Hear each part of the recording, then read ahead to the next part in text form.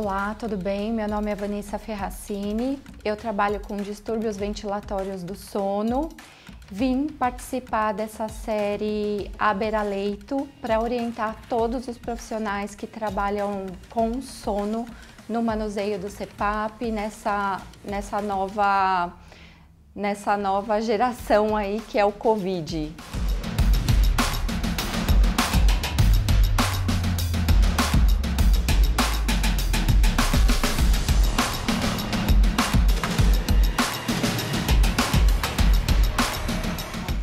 Nossos pacientes de apneia do sono, eles podem ter algumas comorbidades associadas que precisem ou não de suplementação de O2 na terapia.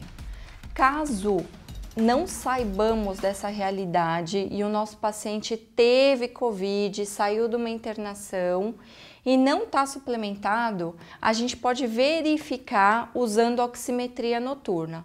Então, no caso deste equipamento, este é o módulo, para este outro equipamento existe um outro módulo e assim por diante. Tá? Então, quando a gente gerar o relatório que todo CEPAP tem um cartão de memória, a gente vai saber como é que está essa oximetria desse paciente.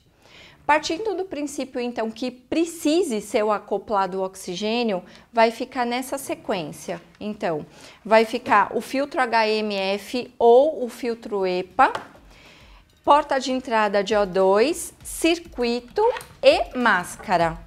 E aqui a gente vai suplementar então o oxigênio.